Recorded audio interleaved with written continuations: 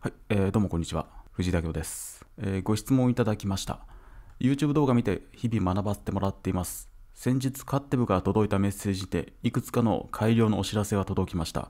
その中の一つに、ワードプレスとの統合というのがありました。それについて動画で解説していただけると幸いです。よろしくお願いいたします。ということですね。ありがとうございます。えーワードプレスの統合ということなんですが、先日、カッテブの Facebook グループにて新しいニュースがですね、えー出たんですけども、それがこちらですね。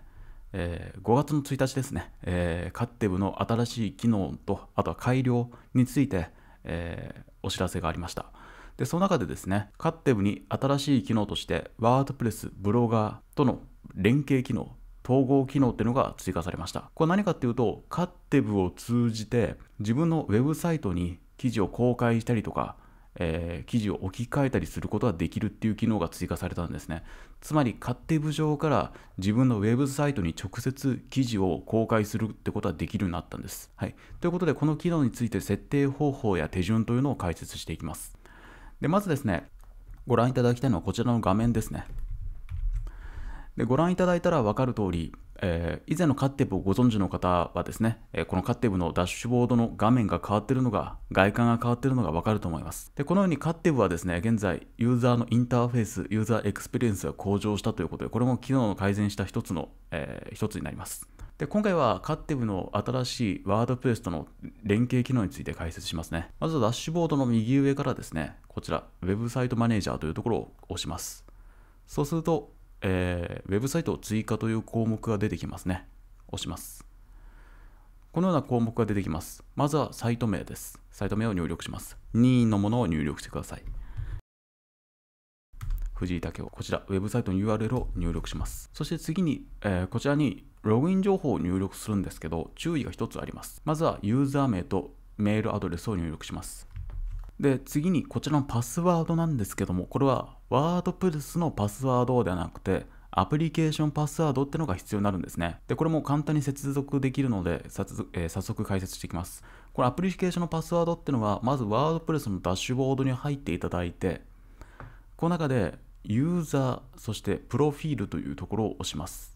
そうするとですね、このプロフィールの一番下にスクロールをしていきますと、えーこちらですね、スクロールをしていくと、新しいアプリケーションパスワード名というところを入力する項目があります。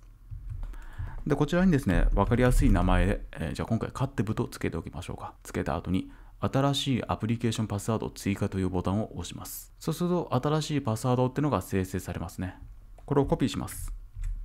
一応保存しておきますね。こちら、カッテブの名前で新しいアプリケーション作成されました。で、先ほどコピーした項目をこちらのアプリケーションパスワードに入力をした後に、コネクトウェブサイトというボタンを押します。はい。これで、えー私のサイトですね。こちらのサイトとカッテブを連携させることができました。おや、GPT 何かって入ってますね。なんだろうこれ。ちょっとさっきまで見えなかったんですけど、まあいいや。それ後でまこれも解説しますね。えっ、と、じゃあまずカッテブプラスで何か書きましょうか。オフショアホスティング。さっきちょっと書いてた記事なんですけど、じゃあこの内容でもう一回書いてみますね。このカッティブについてもこの文章の生成スピードが上がったことと文章の品質も上がっているので、ちょっとこれもご確認いただきたいですね。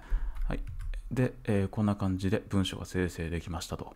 じゃあ例えば、えー例えばですね、えーこういうふうに、まあ、作ったとしましょう。まあ、これ一つブログ記事を書いたと仮定しまして、まずは右上のエクスポートというボタンを押します。そしてエクスポート、えーこちらですね。さらに続けて押して、あとは自分のウェブサイトを選んでエクスポートというボタンを押します。で、このような項目が出てきます。で、まずは、えー動作を選ぶということがありますね。動作を選ぶ。押します。そうするといろんな項目が出てきます。一番上が新しい、えー記事を追加する。二つ目に記事を置き換える。三つ目に記事の、えー記事に続きを書くっていうものが選べます。何か記事を置き換える場合こちら選んでいただいて、こう入力すると、えーこういった記事が出てくるので選ぶこともできます。この記事を置き換えるってことができたりするわけですね。あるいはまあ新しく記事を公開する場合はこちらですね。ニューポストというボタンを押します。項目を押します。そしてあとは次にセレクトのところで、えーまあ、記事の状態ですね。記事の状態を選びます。そのまま、えーカッテブからワードウェブサイトで記事を公開する場合はこちらのパブリッシュをしていただいて大丈夫です。下書き状態で公開する場合はドラフト。で、未公開に状態するんであれば、このペンディングのところを押します。まあ、そのまま公開する場合はパブリッシュですね。押します。あとはカテゴリーを選びます。カテゴリー。じゃあ、マーケティングツールにしましょうか。はい。で、選んだら、このボタン、エクスポートアーティクルというボタンを押します。はい。このような項目できますね。えー、記事はちゃんと、えー、エクスポートすることができましたと。で、プレビューとボタンを押すと、このように表示されます。はい。どうですかね？ちょっとブログ見ましょうか。はい。こんな感じで、先ほどのこのカッテブの内容がそのまま投稿されているかと思います。こんな感じで、勝手部内から直接自分のウェブサイトに投稿することができます。で、ちょっと複雑な手順というふうに感じたかもしれませんが、実際の手順としては簡単ですね。それほど難しいことはないです。ただ、ポイントとしましては、えー、ウェブサイトを追加するときのこのアプリケーションパスワードというところで、自分のワードプレスのパスワードを入力するってことではないってことは置いと、えー、頭に置いておいてください。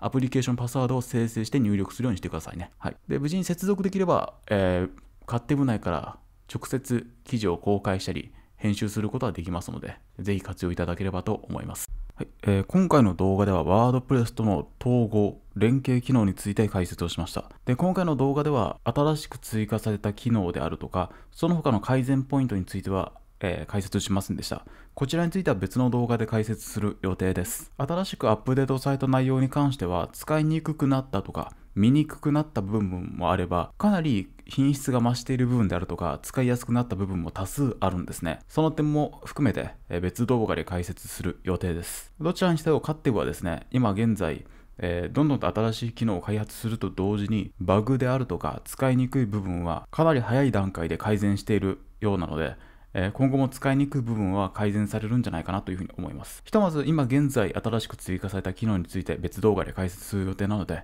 楽しみにしておいてください。どうもありがとうございました。